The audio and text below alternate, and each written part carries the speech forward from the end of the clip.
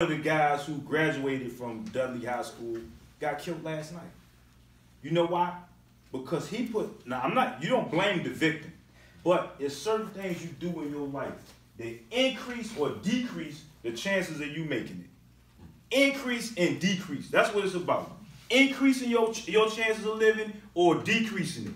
So everything you do, every decision you make is either increasing or decreasing for you. It's mathematics, simple mathematics. So when you do certain things, you want to look at it, okay, well, is this increasing or decreasing my chances of getting to where I want to get? We asked y'all early, what were y'all goals? Some people knew, some people didn't.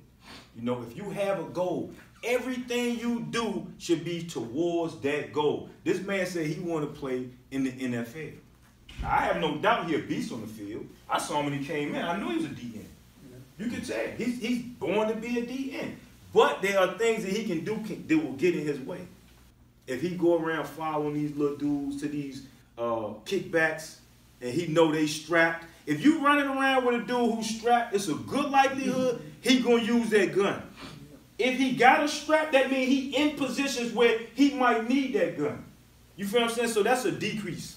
That's that's decreasing your chances of getting where you want to go. Everything you, who is a mechanic? You want to be a mechanic?